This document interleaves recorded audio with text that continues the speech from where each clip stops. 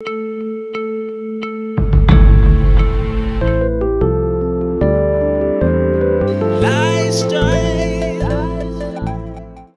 പ്രിയ പ്രേക്ഷകർക്കും ലൈഫ് സ്റ്റൈലിന്റെ health care സെഗ്മെന്റിലേക്ക് സ്വാഗതം. മാറുന്ന ജീവിതശൈലിയും ആരോഗ്യ രീതിയും അനുസരിച്ച് വിവിധങ്ങളായ വിഷയങ്ങളാണ് ഞങ്ങൾ ഡിസ്കസ് ചെയ്യാറുള്ളത് ഹെൽത്ത് കെയർ സെഗ്മെന്റിലൂടെ നിങ്ങൾക്ക് ഏവർക്കും അത് ഉപകാരപ്രദമാകുന്നു എന്നറിയുന്നതിൽ വളരെയധികം സന്തോഷം. അതേ സന്തോഷത്തോടു കൂടി തന്നെ ഒന്ന് ഓർമ്മിപ്പിക്കേണ്ടതുണ്ട് അല്ലേ? നമ്മുടെ ശരിയായ പുഞ്ചിരിക്കും അതുപോലെ തന്നെ ശരിയായ ഭക്ഷണ രീതിക്കും ദന്താരോഗ്യത്തിന്റെ പ്രാധാന്യം ഒട്ടും കുറവല്ല. ഇന്ന് നമുക്കൊപ്പം അതിഥിയായി ചേരുന്നത് കൊല്ലം ജില്ലയിലെ കടപ്പാക്കടയിലുള്ള J dental clinic director professor doctor Jayan Jayaraj അവർകളാണ്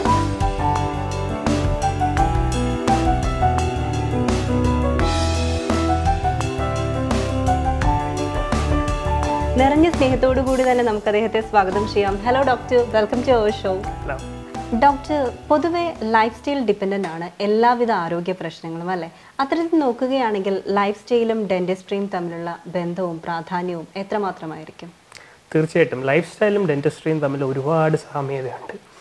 lifestyle habits നമ്മുടെ ഫുഡ് ഹാബിറ്റ്സ് കാരണം തന്നെ നമുക്ക് ഡെന്റൽ പ്രോബ്ലംസ് ഒരുപാട് വരാനുള്ള സാധ്യത ഇപ്പം വളരെ അധികമാണ്. മോർ ഓഫ് ജങ്ക് ഫുഡ് വരുന്നത് കാരണം നമ്മുടെ ഓറൽ ഹൈജീൻ പ്രോപ്പറായിട്ട് മെയിന്റെയിൻ ചെയ്യാത്തതിന്റെ ഒരു മെയിൻ റീസണാണ് നമ്മളിപ്പം കാണുന്നത്. കൂടുതലും കാണുന്നത് യങ്സ്റ്റേഴ്സിലാണ് അതിപ്പം കാണുന്നത്. കാര്യം more of junk food junk food junk food അപ്പോൾ ലൈഫ് സ്റ്റൈൽ ഹാബിറ്റ്സ് പിന്നെ അവർക്ക് ഒന്നിനും സമയമില്ല.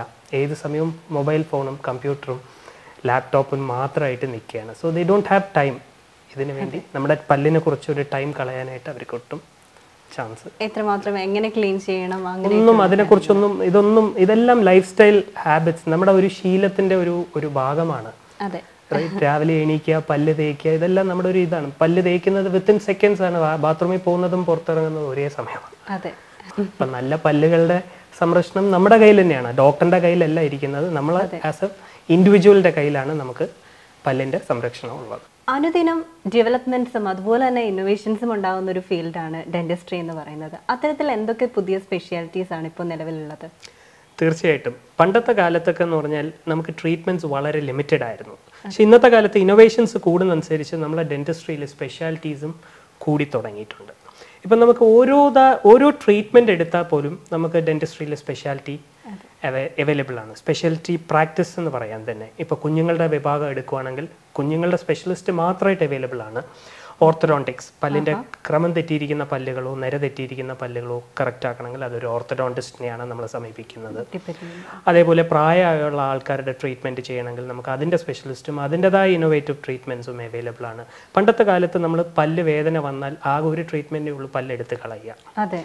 ഇന്ന് ഇന്നോവേഷൻസ് വരുന്നതനുസരിച്ച് നമുക്ക് ട്രീറ്റ്മെന്റ് കാരണം നമുക്ക് പല്ല് രക്ഷിച്ച് അവിടെ നിലനിർത്തുകൊണ്ട് റൂട്ട് കനാൽ പോലുള്ള റൂട്ട് കനാൽ പോലത്തെ ട്രീറ്റ്മെന്റ് റൂട്ട് കനാലിന് പോലും നമുക്ക് സ്പെഷ്യലിസ്റ്റ് അവൈലബിൾ ആണ്. കൺസർവേറ്റീവ് ആൻഡ് എൻഡഡോണ്ടിസ്റ്റ് എന്ന് പറയുന്ന സ്പെഷ്യലിസ്റ്റുകളാണ് ഈ സ്പെഷ്യാലിറ്റിയിൽ വരുന്നത്. ഡോക്ടർ ഓർത്തഡോണ്ടിക് സ്പെഷ്യലിസ്റ്റ് ആണല്ലോ. അപ്പോൾ എന്താണ് പൊതുവേ ഈ ഓർത്തഡോണ്ടിക്സ് എന്ന് പറയുന്നത്? ഓർത്തഡോണ്ടിക്സ് എന്ന് പറയുന്നത് നിര തെറ്റിയിരിക്കുന്ന പല്ലുകളോ ക്രമം തെറ്റിയിരിക്കുന്ന പല്ലുകളോ പല്ലിന്റെ ഇടയിൽ വിടവുകളോ ഉണ്ടെങ്കിൽ അത് കറക്റ്റ് ചെയ്യുന്ന സ്പെഷ്യലിസ്റ്റിനെയാണ് നമ്മൾ ഓർത്തഡോണ്ടിസ്റ്റ് എന്ന് വിശേഷിപ്പിക്കാറുള്ളത്. സോ ഇപ്പം നമുക്ക് ഉന്തിയിരിക്കുന്ന ഒരു പല്ലൊക്കെ ആകുമ്പോൾ നമ്മൾ ചിരിക്കുമ്പോൾ അതിന്റെതായ ഒരു വൃത്തിയുടെ മുഖത്ത് കാണും. സോ അത് നമ്മൾ ബ്യൂട്ടിഫൈ ചെയ്ത് കോസ്മെറ്റിക് ആയിട്ട് കറക്റ്റ് ചെയ്യുന്നതിന്റെ സ്പെഷ്യലിസ്റ്റിനെയാണ് നമ്മൾ ഓർത്തഡോണ്ടിസ്റ്റ് എന്ന് പറയുന്നത്. ആ ട്രീറ്റ്മെന്റിന്റെ പേരാണ് ഓർത്തഡോണ്ടിക് ട്രീറ്റ്മെന്റ് എന്ന് അതുപോലെ തന്നെ എനിക്കൊന്ന് ഒരു പെർഫെക്റ്റ് ബൈറ്റ് ഒക്കെ ചെയ്യണം എന്നുണ്ടെങ്കിലും അതെ തീർച്ചയായിട്ടും. ചില പല്ലുകൾ നമ്മൾ വളരെ നേരത്തെ അത് നഷ്ടപ്പെട്ടിട്ടുണ്ടെങ്കിൽ നമ്മുടെ പല്ലിന്റെ പൊസിഷൻസ് എല്ലാം കംപ്ലീറ്റ്ലി മാറാനായിട്ടുള്ള ചാൻസസ് കൂടുതലാണ്. സോ അപ്പോൾ അതെല്ലാം അതിന്റെതായ കറക്റ്റ് പൊസിഷനിലോട്ട് നമുക്ക് മൂവ് ചെയ്ത് പല്ലിന്റെ കറക്റ്റ് ആപ്റ്റ് പൊസിഷനിൽ കൊണ്ടുവരാനായിട്ടാണ് നമ്മൾ ഓർത്തഡോണ്ടിക് ട്രീറ്റ്മെന്റ് യൂഷ്വലി ചെയ്യാറുള്ളത്. ഇത്തരത്തിലുള്ള ഒരു ട്രീറ്റ്മെന്റ് പ്രത്യേക ഏജ് ഗ്രൂപ്പോ അങ്ങനെ എന്തെങ്കിലും? ഇന്ന് ഏജ് ഗ്രൂപ്പിൽ മാത്രമേ നമുക്ക് ഓർത്തഡോണ്ടിക് ട്രീറ്റ്മെന്റ് ചെയ്യാൻ പാടുള്ളൂ എന്നില്ല. നമുക്ക് സാധാരണ ഓർത്തഡോണ്ടിക് ട്രീറ്റ്മെന്റ് സ്റ്റാർട്ട് ചെയ്യുന്നത് around eight to twelve years തൊട്ട് അങ്ങോട്ട് ഏത് പ്രായം വരെ വേണമെങ്കിലും നമുക്ക് ചെയ്യാം. എന്നാൽ ആ ഏത് പ്രായം എന്ന് പറഞ്ഞാലും അവിടെ ഒരു ലിമിറ്റേഷൻസ് ഉണ്ട്. ഉണ്ട്. നമുക്കൊരു say around thirty thirty five forty വരെ നമുക്ക് ആക്സെപ്റ്റബിൾ ആണ്. പക്ഷെ അതിന്റെ മുകളിലുള്ള എക്സ്ട്രാ കെയർ വേണ്ട ട്രീറ്റ്മെന്റുകൾ എന്നാൽ ഒരു കുഞ്ഞിനെ നമ്മൾ എട്ട് വയസ്സ് തൊട്ട് നമ്മൾ മോണിറ്റർ ചെയ്ത് തുടങ്ങുന്നത് എപ്പോഴും ആപ്റ്റ് ആയിരിക്കും. കുഞ്ഞിന്റെ പല്ല് നിരതെറ്റി പോകുന്നുണ്ടെങ്കിൽ തുടക്കത്തിലേ അതിന്റെ ട്രീറ്റ്മെന്റ് നമ്മൾ ചെയ്ത് തുടങ്ങുവാണെങ്കിൽ വളരെ എളുപ്പമായിട്ട് നമുക്കത് കറക്റ്റ് ചെയ്ത് എടുക്കാൻ സാധിക്കും. പൊതുവേ ഈ അഡോളസൻ പീരീഡ് ഒക്കെ കഴിഞ്ഞ് ഒന്ന് യൂത്ത് ആവാൻ തുടങ്ങുമ്പോഴാണ് പല്ലിന്റെ ആരോഗ്യവും അതുപോലെ തന്നെ പല്ലിന്റെ ഭംഗിയൊക്കെ പൊതുവെ ശ്രദ്ധിച്ച് നമ്മൾ തുടങ്ങുന്നത്. അപ്പോൾ വളരെ ചെറിയ പ്രായത്തിൽ തന്നെ ഇത് തുടങ്ങുവാണ് നമ്മൾ ശ്രദ്ധിച്ച് തുടങ്ങുവാണെന്നുണ്ടെങ്കിൽ വളരെ പെർഫെക്റ്റ് ആയിട്ടുള്ള പല്ലുകളൊക്കെ കിട്ടാൻ സാധ്യതയുണ്ട് അല്ലേ? തീർച്ചയായിട്ടും. നമുക്ക് ഇത് ഈ ഒരു പല്ലിന്റെ ഒരു ഒരു നിര തെറ്റിയിരിക്കുന്നത് പെട്ടെന്നൊരു ദിവസം വരുന്നതല്ല. ഇത് over a period of time സംഭവിക്കുന്നതാണ്. ഇപ്പം സാധാരണ പല്ലുകളെല്ലാം പോയി പാൽപ്പല്ലുകളെല്ലാം പോയി പെർമനന്റ് പല്ലുകൾ വരുന്ന ഒരു സ്റ്റേജിലാണ് നമുക്ക് ഈ ഒരു പ്രശ്നങ്ങൾ നമ്മൾ കണ്ട് ശ്രദ്ധിക്കാൻ തുടങ്ങുന്നത്. ഉന്തിയിരിക്കുന്ന പല്ലുകളോ നിരതെറ്റിയിരിക്കുന്ന പല്ലുകളോ എല്ലാം നമ്മൾ ശ്രദ്ധിച്ചു തുടങ്ങുന്നത് യൂഷ്വലി ഒരു എട്ട് ഒമ്പത് വയസ്സൊക്കെ ആകുമ്പോഴത്തേക്കാണ് നമ്മളിത് ശ്രദ്ധിച്ച് തുടങ്ങുന്നത്. സോ അത് ആ സ്റ്റാർട്ടിങ് സ്റ്റേജിൽ തന്നെ നമ്മൾ ട്രീറ്റ്മെന്റ് സ്റ്റാർട്ട് ചെയ്യുകയാണെങ്കിൽ നമുക്കത് അനുസരിച്ച് നല്ല രീതിയിൽ അത് ട്രീറ്റ്മെന്റ് ചെയ്ത് കറക്റ്റ് ചെയ്യാം. ചെറുപ്രായത്തിൽ ട്രീറ്റ് ചെയ്യുന്നതിന്റെ ഒരു അഡ്വാന്റേജ് എന്ന് പറഞ്ഞാൽ നമുക്ക് പല്ലുകളുടെ മൂവ്മെന്റ് വളരെ ഈസി ആയിട്ട് കൺട്രോൾ ചെയ്യാൻ പറ്റും.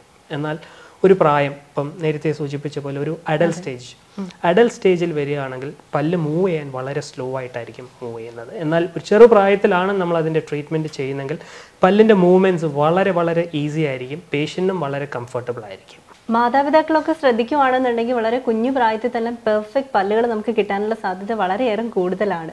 അതുകൊണ്ട് തന്നെ കുട്ടികളുടെ ഈ ഡെന്റൽ ട്രീറ്റ്മെന്റിനെ കുറിച്ചൊക്കെ ഒന്ന് അറിഞ്ഞുകൊള്ളാവുന്നുണ്ട്. എന്തൊക്കെയാണ് പൊതുവെ കുട്ടികളിലുണ്ടാവുന്ന ഡെന്റൽ ഡെന്റൽ ട്രീറ്റ്മെന്റ്സ് തീർച്ചയായിട്ടും. ഇതിലൊരു നല്ലൊരു ക്വസ്റ്റ്യൻ ആണത്. പേരൻസ് സാധാരണ നമ്മളിപ്പോൾ ഒരു പല്ലിൽ പോട് വന്നിട്ട് കുഞ്ഞുങ്ങളെ കൊണ്ടുവരുമ്പം പറയും പാൽപ്പല്ലല്ലേ ഡോക്ടർ ഇപ്പം അങ്ങ് ഇളകിപ്പോകുന്ന പല്ലല്ലേ എന്തിനാ അതിന്റെ പുറത്ത് നമ്മൾ ട്രീറ്റ്മെന്റ് ചെയ്യുന്നതെന്ന്? ഒരിക്കലുമല്ല ഈ പാൽപ്പല്ലിന്റെ ഗൈഡൻസിൽ വേണം ബാക്കി പെർമനന്റ് ടീത്ത് ഇറപ്റ്റ് ചെയ്ത് വരാനായിട്ടുള്ള ചാൻസസ് അപ്പം നമ്മളത് ചെറുപ്രായത്തിലെ പല്ലിനൊരു കേട് വന്നിട്ട് നമ്മളത് റിമൂവ് ചെയ്ത് മാറ്റുവാണെങ്കിൽ അടിയിൽ നിന്ന് വരുന്ന പെർമനന്റ് ടീത്തിന്റെ ഗൈഡൻസ് കംപ്ലീറ്റ്ലി മാറിപ്പോകാനായിട്ടുള്ള ചാൻസസ് ഉണ്ട്. സോ പേരൻസിന്റെ റോളാണ് ഇതിൽ ഏറ്റവും ഇമ്പോർട്ടന്റ് ആയിട്ട് നമുക്ക് തീർച്ചയായിട്ടും നോക്കേണ്ട ഒരു കാര്യം.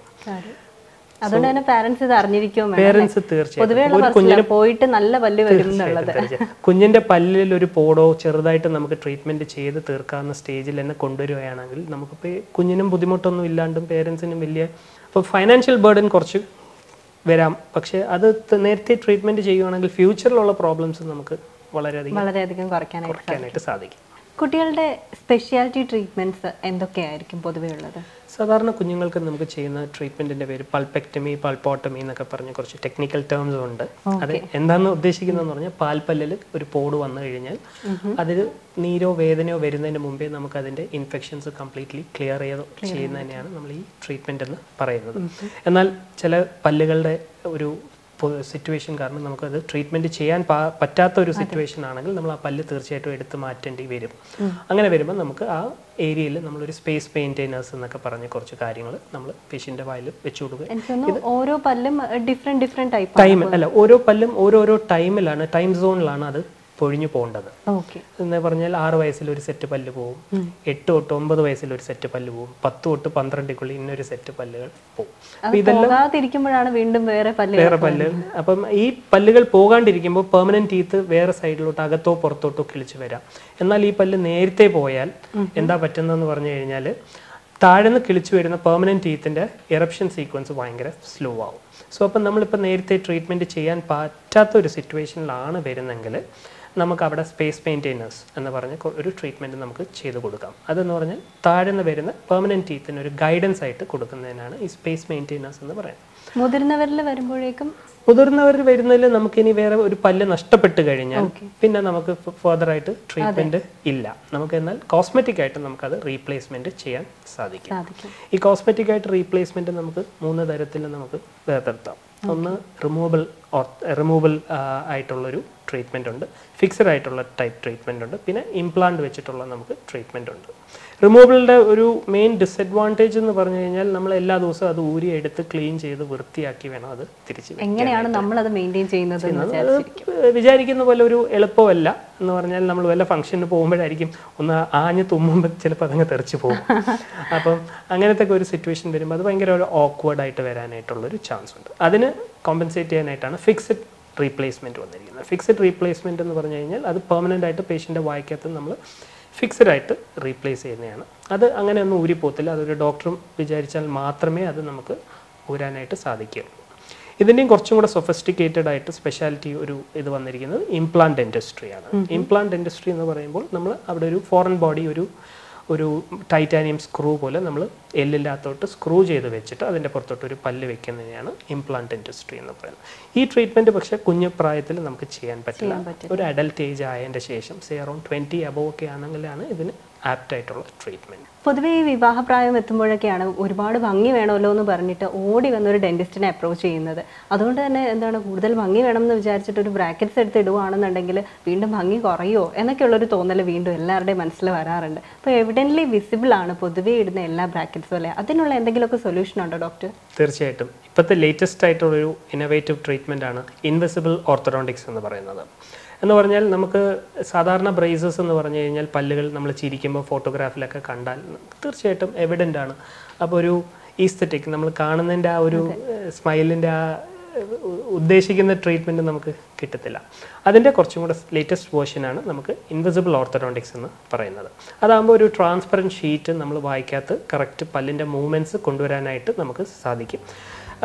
നമുക്ക് കല്യാണ സമയം നമ്മൾ ഊരി വെക്കേണ്ട കാര്യം പോലും ഇല്ല. ഇട്ടിട്ടുണ്ടെന്നുള്ളത് ഇട്ട ആൾക്ക് മാത്രമേ അറിയത്തുള്ളൂ ഇങ്ങനെ ഒരു ട്രീറ്റ്മെന്റ് ഉണ്ടെന്നുള്ളത്.